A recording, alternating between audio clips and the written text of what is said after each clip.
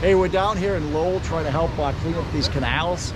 You know, they're historically uh, trashed and uh, we're trying to pull all that old stuff, tires, uh, pipes, you name it that's been in here for centuries. We're trying to pull all that up, make it look beautiful.